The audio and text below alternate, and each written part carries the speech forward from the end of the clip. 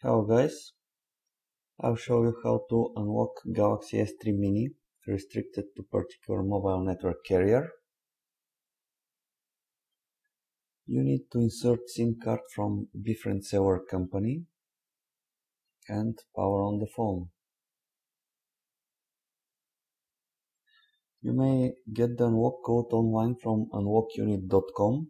It takes only several minutes I chose to use their mobile application instead. It also auto-detects the phone serial number and model. Double check those just in case.